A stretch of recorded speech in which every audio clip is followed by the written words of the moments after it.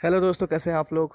उम्मीद करता हूँ अच्छी होंगे। तो दोस्तों, जो आज की वीडियो है, जैसा आपने मेरा थंबनेल देखा होगा कि मैं आज आपको सिखाने वाला हूँ कि अगर आपको इंग्लिश नहीं आती है और अगर आपको अपने फ्रेंड गर्लफ्रेंड आपके सर दोस्त भाई बहन जिससे भी आपको बात करनी हो इंग्लिश में, बिना उनको पता चले कि आप अनपढ़ हो, आपको इंग्लिश नहीं आती है तो आप उनसे चैट कैसे करेंगे या उनसे आप बात कैसे करेंगे इंग्लिश में?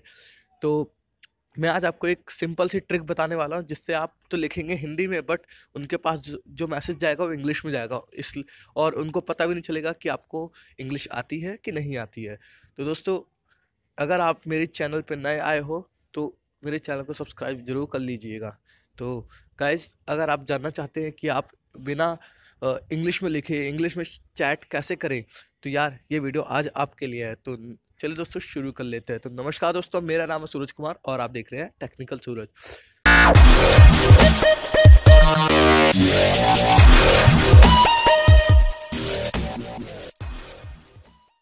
तो गाइज़ आपको जाना होगा प्ले स्टोर में। प्ले स्टोर में जाने के बाद आपको लिखना होगा गूगल कीबोर्ड जैसे ही आप लिखेंगे गूगल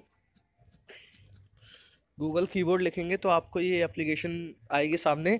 बाकी मैं वीडियो के डिस्क्रिप्शन में इसका लिंक दे दूँगा, आप वहाँ से भी डाउनलोड कर सकते हैं। तो आपको ये ऐप डाउनलोड करना होगा। मैंने ऑलरेडी इसके डाउनलोड किया हुआ है तो इसलिए ये यहाँ पे अनस्टॉल बता रहा है।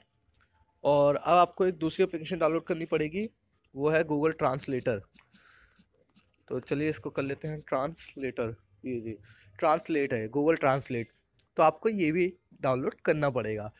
ठीक है तो चलिए, अब मैं आपको बता देता हूँ कि इसको सेटिंग में जाके इसको सेट कैसे करना है। तो आपको सेटिंग में जाना होगा। सेटिंग में जाने के बाद आपको गैस सेटिंग में जाने के बाद आपके पास एक ऑप्शन आएगा इनपुट या लैंग्वेज सेलेक्ट करने के लिए या कीबोर्ड तो हर फ़ोन में अलग अलग सेटिंग होती है तो मेरे पास तो रेडमी का है तो यहाँ एडिशनल सेटिंग में जाना होगा। एडिशनल सेटिंग में जाने के बाद आपको दिख रहा होगा सेकंड नंबर पे लैंग्वेज एंड इनपुट्स पे जाना है। इनपुट्स पे जाने के बाद यहाँ लैंग्वेज लिखी हुई है इंग्लिश तो आपको इसको इंग्लिश ही रहने देना है, आपको इसमें कुछ नहीं करना।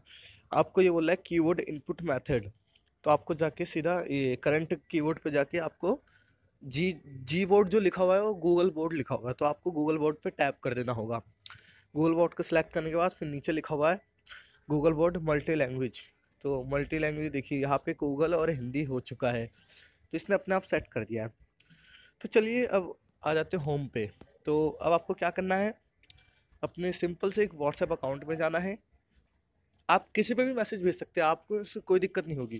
तो चलिए मैं, मेरे पास दो अकाउंट है व्हाट्सएप के तो मैं यहाँ से लिखता हूँ। तो चलिए, मान के चलिए मैं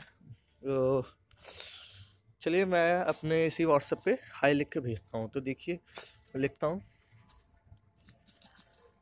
हेलो हाउ आर यू ठीक है अभी मैसेज सेंड हो गया तो अब हम चलते हैं दूसरे व्हाट्सएप पे।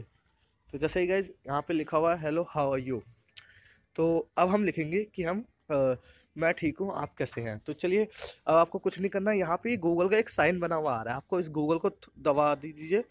दबाने के बाद यहाँ पे तीसरे नंबर पे गूगल ट्रांसलेटर है तो आपको तीसरे नंबर पे टैप करना होगा। और गाइज़ जैसे कि अब आप देख रहे होंगे कि यहाँ पे एक इंग्लिश लिखा हुआ है और हिंदी लिखा हुआ है।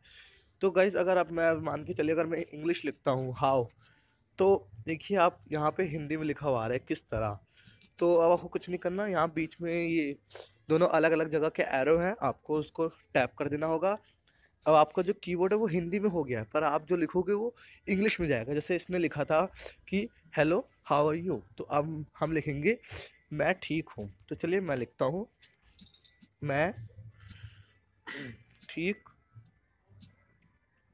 हूँ। देखिए गाइस जैसे मैंने लिखा, मैं ठीक हूँ तो इसने लिखा है आई एम फाइन अब मैं लिखूँगा, मैं ठीक हूँ, आप कैसे हो? आप आप कैसे हो?